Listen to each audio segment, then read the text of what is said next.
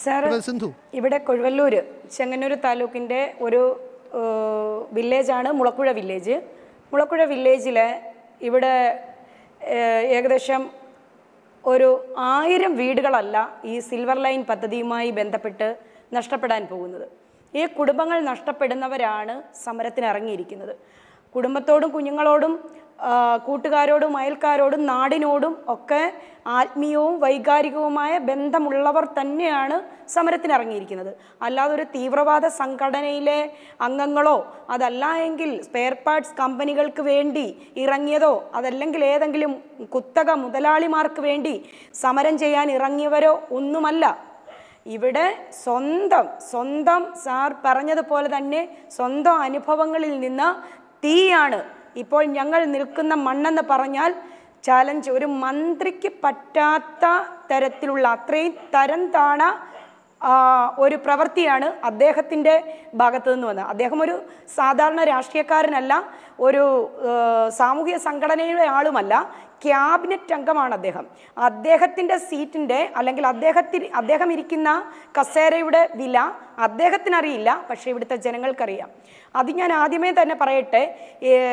കുറച്ചും കൂടി താണ് പറഞ്ഞു കഴിഞ്ഞാൽ വെറും ലോക്കൽ ഗുണ്ടകൾ കാണിക്കുന്ന പണിയാണ് അദ്ദേഹം ചലഞ്ച് ചെയ്തുകൊണ്ട്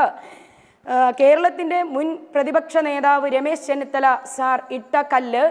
അവിടെ ചെന്ന് ആ വീട്ടമ്മയുടെ അടുപ്പിൽ തന്നെ അത് കുഴിച്ചിടണമെങ്കിൽ അദ്ദേഹത്തിൻ്റെ മനുഷ്യത്വം മരവിച്ചിരിക്കുന്നു എന്ന് തന്നെ നൂറ് തവണ അടിവരയിട്ട് പറയേണ്ടി വരും പക്ഷെ ഒരു നിമിഷം അനാഥയാണ് അവർക്കൊരു അവിടെ അദ്ദേഹം പറയുന്ന കാര്യങ്ങൾ അതായത് രമേശ് ചെന്നിത്തലയുടെ നേതൃത്വത്തിൽ പിഴുതു മാറ്റിയ കല്ല് വീണ്ടും ഇട്ടുകൊണ്ട് അദ്ദേഹം പറഞ്ഞ കാര്യങ്ങളൊന്ന് കേൾക്കാം ഈ അമ്മാമയ്ക്ക് ഒരു പ്രശ്നമില്ലല്ലോ അമ്മാമ എങ്ങും പോകണ്ട ഞാൻ ജീവിച്ചിരിക്കാതെ അമ്മാമ ഇവിടെ താമസിപ്പിക്കും ഇല്ലേ അപ്പുറത്ത് മാറ്റി ഇതിനൊക്കെ മനോഹരമായി വീട് വെച്ച് സുഖമായിട്ട് താമസിപ്പിക്കും എങ്ങും പോണ്ട ഈ സർക്കാർ വിശ്വാസം ഉണ്ടല്ലോ പിണറായി വിജയൻ വിശ്വാസം ഈ ഗവൺമെന്റ് വിശ്വാസമുണ്ടോ ഉണ്ടോ പൈസ കിട്ടിയിരിക്കും മാറ്റത്തില്ല ഒന്നും പേടിക്കില്ല ആ വാക്ക് പറഞ്ഞാൽ മാറുന്നവരല്ലേ കമ്മ്യൂണിസ്റ്റുകാരാ വാക്ക് പറഞ്ഞാൽ മാറത്തില്ല അമ്മാമ്മയുടെ മുമ്പിൽ അമ്മ ജോലി ചെയ്യും അമ്മാമ്മയുടെ മുമ്പ് ചിന്തിച്ചു ശ്രീമതി സിന്ധു ഇപ്പോൾ പറയുന്നത് പോലല്ല അവർ പൂർണ്ണ മനസ്സോടെ സമ്മതിച്ച് ചിരിക്കുകയാണ് മന്ത്രിക്കൊപ്പം നിന്ന്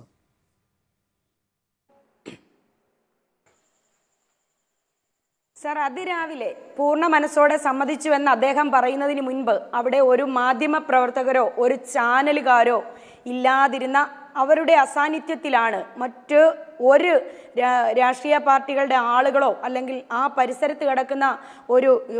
ജന ജനകീയ സമരക്കാരോ ആരുമില്ലാതിരുന്ന സമയത്ത് അവരെ രഹസ്യമായി പോയി കണ്ട് അവർക്ക് അവരെ ഭീഷണിപ്പെടുത്തിയതാണോ അതോ അവരെ സന്തോഷിപ്പിക്കാൻ വേണ്ടി ക്യാഷ് കൊടുത്തിട്ടാണോ അത് ചെയ്തതെന്നറിയില്ല കാരണം അതിൻ്റെ തലേ ദിവസം വരെ അവർ ജനകീയ സമരത്തിന് സകല പിന്തുണയും നൽകിയ ഒരാളായിരുന്നു തങ്കമ്മ എന്ന് പറയുന്ന ഈ അമ്മച്ചി തലേ ദിവസം വരെയും ഇവിടെ സമരത്തിന് ഞങ്ങളുടെ ഞങ്ങളോടൊപ്പം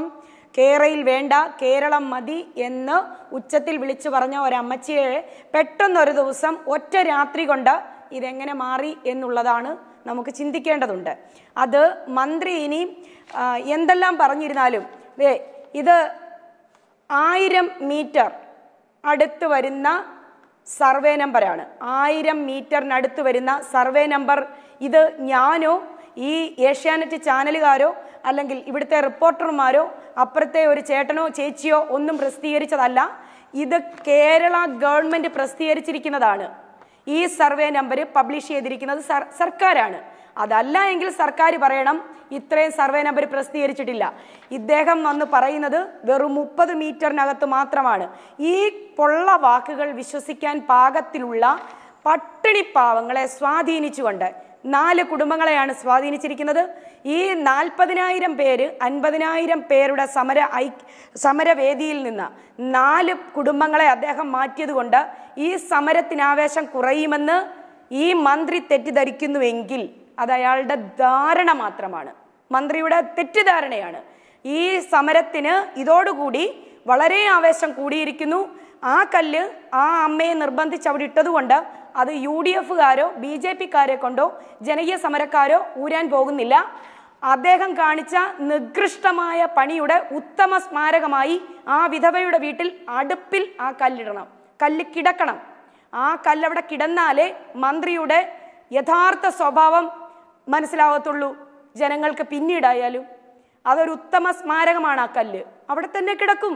അത് ആരും ബലം പ്രയോഗിച്ച് ഊരാൻ പോകുന്നില്ല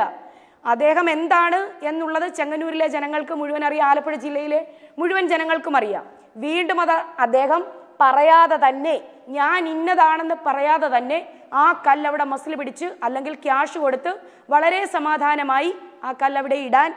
മന്ത്രി പോയെങ്കിൽ അദ്ദേഹത്തിന്റെ സ്വഭാവമാണ് അദ്ദേഹം കാണിച്ചിരിക്കുന്നത് അത് സ്മാരകമായി